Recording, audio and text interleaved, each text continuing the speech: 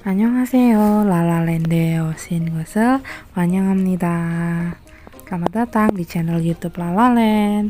Jadi, hari ini kita akan belajar tentang kalimat positif bahasa Korea. Setiap bahasa tuh pasti ada ya kalimat positif, kalimat negatif, kalimat pertanyaan. Nah, untuk hari ini kita akan belajar dulu tentang kalimat positifnya. Langsung aja ke materi. Yang pertama, imnida. Dalam bahasa Indonesia, imnida ini berarti adalah dilekatkan pada kata benda dan berfungsi sebagai predikat. Langsung aja ke contoh.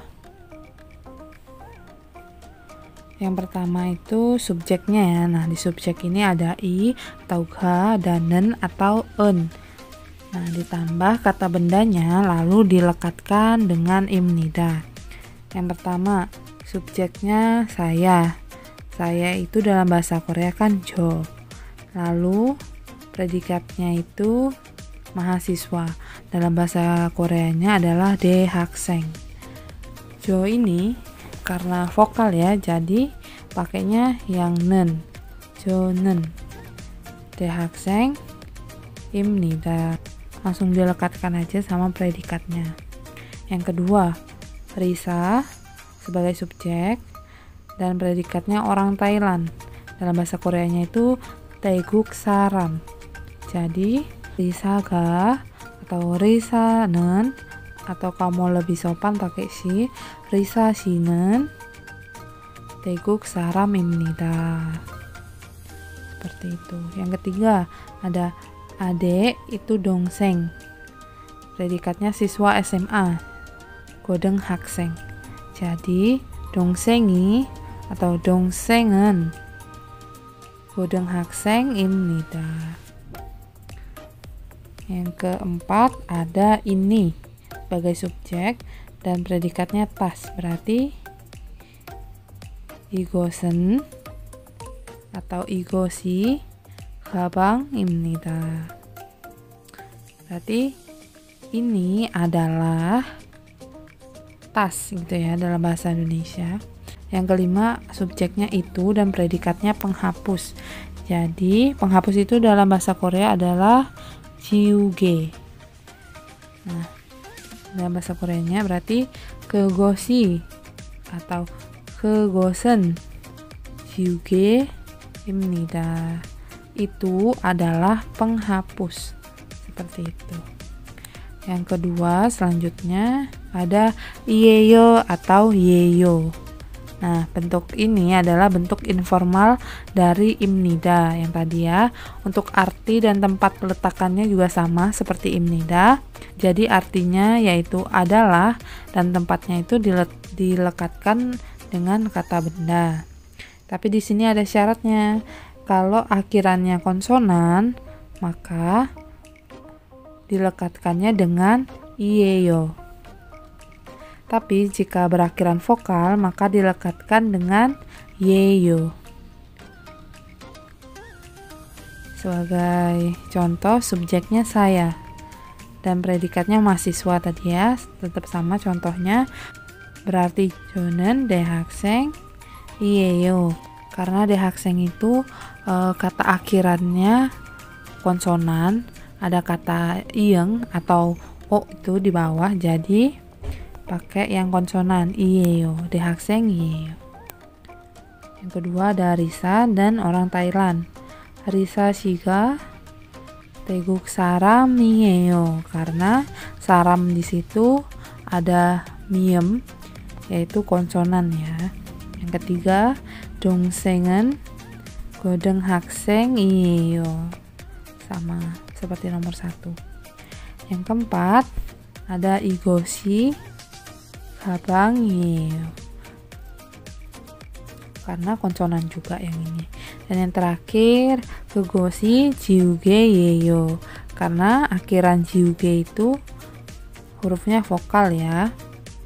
Selanjutnya biep nida atau semnida nah Kata ini berfungsi untuk membentuk kalimat positif pada masa sekarang, bukan masa lampau atau masa yang akan datang ya. Jadi sekarang. Cara menggunakannya dengan menghilangkan kata da pada kata dasar yang dimiliki oleh kata sifat atau kata kerja. Lalu dilekatkan dengan biep, nida, atau semnida. Nah, ini juga ada syaratnya. Jika berakhiran konsonan, maka dilekatkan dengan semnida. Tapi jika berakhiran vokal, maka dilekatkan dengan biep, nida. Contohnya langsung. Jadi, yang pertama yang pertama ada makan mukta. E, dahnya ini dihilangkan ya. Dah jadi cuman tertinggal mok. Ini karena mok ini adalah akhirannya konsonan maka ditambahin semnida. Jadi mok semnida. Yang kedua ada pergi gada dahnya juga dihilangkan jadi cuman ga. Dan ga ini vokal ya akhirannya. Jadi ditambahin dia nida. Digabungin jadi hamnida mahal. Bisa dah. Hanya dihilangin jadi bisa. Terus e, karena dia vokal jadi bisa menyida seperti itu. Contohnya contoh kalimatnya. Yang pertama bihenggi yoga bisa menyida tiket pesawatnya mahal seperti itu yang kedua Andy Shiga 햄버거를 먹습니다. Andy makan hamburger. Dan yang ketiga ada Nana Shiga 학교에 갑니다. Nana pergi ke sekolah. Seperti itu. Selanjutnya nomor 4 ada A atau Oyo. Nah, A atau Oyo ini merupakan bentuk informal dari biep nida atau semnida berfungsi untuk membentuk kalimat positif pada masa sekarang dan cara penggunaannya dengan menghilangkan da pada kata dasar yang dimiliki oleh kata sifat atau kata kerja. Lalu dilekatkan dengan a atau oyo. Berarti sama aja ya sama yang tadi. Nah, tapi di sini ada beberapa aturan penggunaannya. Tepatnya ada lima. Yang pertama itu bila suku kata terakhir dari kata kerja atau sifat bervokal A atau O, maka dilekatkan dengan ayo. Misalnya contoh pergi, hada. Danya dihilangkan ya, jadi cuman h. Ditambahin ayo. H ini karena akhirannya a ya, di sini a. Jadi h ditambahin ayo, jadi gayo. Terus yang kedua ada kecil, cakta jadi tinggal cak terus ditambahin ayo. Jadi jaga yo seperti itu. Yang ketiga ada datang udah di sini oh ya yang ini. Oh ditambahin a lalu digabung jadi wayo. Dan yang keempat ada tinggi nopta. Misalnya dihilangin jadi nop ditambahin ayo jadi nopayo. Seperti itu. Jadi kita lihat dulu dari kata dasarnya misalnya ini gada ini kan a ya terakhirannya. Jadi dia pakainya yang ayo ini. Nah ini oda ini kata vokal akhirannya kan o ya. Masuk di syarat ini berarti dia ditambahinnya ayo seperti itu nah untuk contohnya Nomor satu, uri jiben, jagayo. Rumahku kecil. Nomor dua, uri jiben lo ayo. Selanjutnya, yang kedua atau B itu jika suku kata terakhir dari kata kerja atau sifat bervokal O, U, E, dan I maka dilekatkan dengan OYO. Langsung aja ke contohnya makan itu mokta. Mokta karena mok ini kan akhir vokalnya itu o di sini. Jadi tambahin oyo jadinya mogoyo dan yang kedua ada tersenyum uta. Di sini huruf vokalnya u. Ya berarti yang ini jadi tambahin oyo. Hasilnya usoyo. seperti itu. Yang ketiga ada juda. Juda ini u ya. Masih di sini. Jadi ju ditambahin oyo. Jadi joyo digabungin. Yang keempat ada seda. Seda ini e ini. Ditambahin oyo. Jadi soyo. Soyo nah nomor mm, nomor 5 terakhir ada masida. Masida. Masida ini i ya. Ini dilekatkan dengan oyo jadi mashoyo. Nah pada kata masida ini suku kata terakhir tidak mengandung konsonan akhir. Sehingga i ini jika bertemu dengan oyo berubah menjadi yo. Ini nih masida dari awalnya seperti ini. Tambahin oyo jadi hasilnya masih yoyo karena agak ribet dipermudah jadi ma eh, ini maaf ya tipu bukan mishoyo tapi mashoyo seperti ini. Nah contoh lainnya ada danida. Danida juga kalau diubah danida ini kan uh, vokal akhirnya i ya jadi kalau ditambahin oyo jadi danyoyo seperti itu Terus yang kedua ini pada kata juda, suku kata terakhir tidak mengandung akhiran sehingga u yang bertemu dengan oyo berubah menjadi jo. Digabungin ya. Jadi contoh lainnya nanu jadi nano. Nanoyo. Atau dalam bahasa Indonesia itu membagi. Selanjutnya,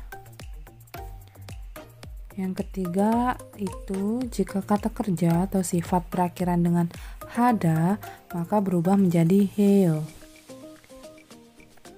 Contohnya, yang pertama bekerja. Bekerja itu bahasa Koreanya ilhada. Diubah menjadi ilheo. Yang kedua memancing, naksi hada. Menjadi naksi heo ketiga ada belajar gongbu hada menjadi gongbu heo. Dan yang keempat ada mandi. Ini konglis ya. Shawo hada menjadi shawo heo. Langsung ke contohnya. Yang pertama oniga Jakarta에서 ilheo kakak bekerja di Jakarta yang kedua ada 지금 아버지가 낚시해요. Sekarang bapak memancing. Nomor tiga ada 동생이 도서관에서 공부해요. Adik belajar di perpustakaan. Dan selanjutnya yang keempat ada jika kata kerja atau sifat berakhiran dengan diget maka diget itu berubah jadi real. Contohnya, jadi yang pertama ada mendengar, detak, det ini diget yang terakhir berubah menjadi real, jadi del. Nah, karena dia vokal akhirnya ini e, e ya seperti ini. Nah, jadi dia ditambahinnya oyo. Jadi del tambahin oyo sama dengan deroyo. Yang kedua ada berjalan, gota. Tiga terakhir diganti dengan real jadi gol. Nah, gol ini karena vokal akhirnya o, jadi tambahinnya oyo. Jadi hasilnya goroyo. Nah, yang ketiga ada menyadari. Kedata. Sama juga digat akhirnya berubah menjadi real menjadi kedal karena akhirannya a berarti tambahinnya ayo. Kedarayo seperti itu. Langsung aja ke contohnya yang pertama emagel deroyo mendengarkan musik. Yang kedua hakyoro guroyo Hakyoro Horoyo berjalan menuju sekolah. Yang ketiga ada Ijea Kedarayo. Dan selanjutnya langsung aja kita next. Yang E itu jika kata kerja atau sifat berakhiran dengan siot, maka siot ini berubah menjadi lesap atau bisa dibilang hilang ya. Contohnya, yang pertama sembuh, nata. Nah, nata ini e, siotnya ini hilang ya atau lesap. Jadi, nah ditambahin ayo karena huruf vokalnya itu a, jadi tambahin ayo ya. Lalu akhirnya menjadi Nah, ayo. Yang kedua ada membangun cita. Siotnya ini juga hilang jadi ji. Ditambahin oyo jadi jioyo. Tapi ini ada pengecualian. Nah, aturan ini tidak berlaku untuk kata bota, uta, pita, sita, yata. Nah, kata-kata tersebut itu tidak ada aturan khusus kenapa kata tersebut tidak lesap. Makanya kata-kata yang ada di sini harus diapalin tersendiri ya. Selanjutnya contohnya. Yang pertama ada palina ayo. Ini biasanya kita uh, ucapkan saat kalau mau ngomong GWS ya gitu. Cepat sembuh ya, palina ayo atau enggak palina seo seperti itu untuk nomor 2 Jibel Jioyo e, membangun rumah. Selanjutnya nah ternyata sudah sampai 5 ya. Udah 5 aturan itu. Selanjutnya ini ada beberapa kata. Coba deh teman-teman tadi kan udah belajar memang agak ribet sih Coba dari kata dasar berikut ini diubah menggunakan partikel kalimat positif yang telah kita pelajarin tadi. Oke, nanti kalau misalnya udah, jawabannya bisa dikirim ke email yang ada di bawah ini, jinipritpremium at gmail.com Nanti kalau misalnya ada salah atau bagaimana nanti bisa aku koreksi dan aku kirim balik ke kalian. Oke, terima kasih banget udah nonton videonya dan belajar bareng uh, bahasa Korea di channel ini. Kalau misalnya ada kritik, saran, tinggalin aja komentar, nanti pasti aku baca. Lalu, kalau menurut kalian kontenku sangat bermanfaat dan kalian suka, jangan lupa ya like, komen, dan subscribe channel ini agar kakak lalanya semangat bikin konten dan uh, videonya. Oke, kalau gitu sampai di sini dulu ya. Daumei Mevayo, annyeong.